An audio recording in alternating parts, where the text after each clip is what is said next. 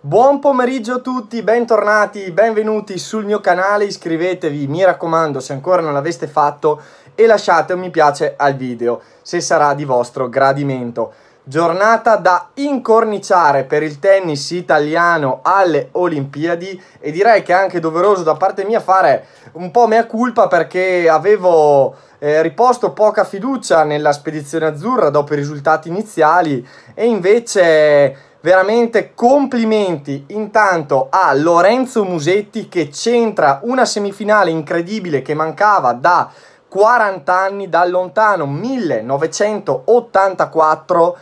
quando eh, a Los Angeles eh, un certo Paolo Canè aveva raggiunto la semifinale, impresa compiuta da Lorenzo Musetti quest'oggi che batte in due set Alexander Zverev, campione uscente, in quel di Tokyo eh, del 2020, Olimpiadi poi disputate nel 2021 causa Covid, ehm, una partita dominata dall'azzurro in in pieno, in pieno, controllo, veramente, praticamente dall'inizio alla fine. Eh, Zverev non è mai riuscito a far veramente male a Musetti e Lorenzo ha veramente compiuto un'impresa e diciamolo, è un Musetti in versione top. Finalmente è il Musetti che ci piace, è un Musetti che ha trovato continuità. I risultati sono sotto gli occhi di tutti perché finale al Queens, semifinale a Wimbledon, finale a Umago, ora semifinale alle Olimpiadi non può essere un caso. Poi qualcuno dirà, eh ma non ha vinto, ok, lasciamo stare un passo alla volta. Per Musetti questa semifinale equivale a una vittoria, ma il bello viene ora perché intanto Musetti ha la certezza che si andrà a giocare altre due partite, a prescindere da come andrà la semifinale, avrà lo stesso la sua finale o per il terzo quarto posto o primo secondo posto. Quindi già qui è un grande successo. Poi è vero che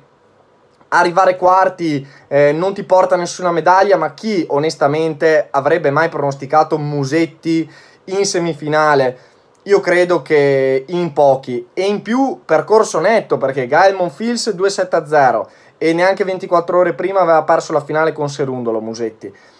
Navone 2-0, Fritz 2-0 e Zverev 2-0, quindi un Musetti veramente strepitoso, ehm, il punto, il doppio punto che ha fatto eh, per andare a chiudere il primo set è veramente da andare a vedere e rivedere, eh, strepitoso, semplicemente Musetti strepitoso e ora viene il bello perché Musetti può giocare anche con, non dico leggerezza perché sarebbe sbagliato, ma con la consapevolezza che sono gli altri che devono temere lui, ora o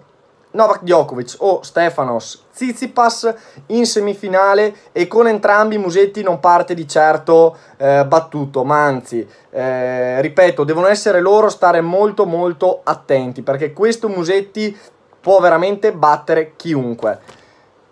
Poi aggiungiamoci anche il doppio femminile che scrive una pagina di storia del tennis italiano, mai un doppio femminile era riuscito a spingersi sino alle, alle semifinali, Jasmine Paolini e Sara Errani battono la coppia eh, britannica eh, Botter Watson per 2 a 0 in maniera netta e insindacabile e accedono alla semifinale olimpica dove se la vedranno con eh, la coppia che rappresenta la Repubblica Ceca eh, formata da Noskova e Mucova quindi insomma un tennis italiano che avrà sicuramente la possibilità in queste Olimpiadi di giocarsi una finale due finali per le medaglie perché sia Musetti sia il doppio femminile avranno questa possibilità. Ci auguriamo che possa essere una finale eh, valevole per, per l'oro eh, sarebbe ancora più clamoroso ma tutto può accadere anche perché avete visto quello che è accaduto nel tennis eh, nel singolare femminile. Quanti rimpianti per Jasmine Paolini perché Iga Swiatek,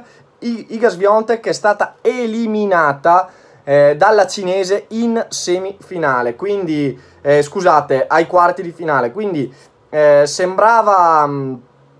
sembrava già scritto per la Swiatek scusate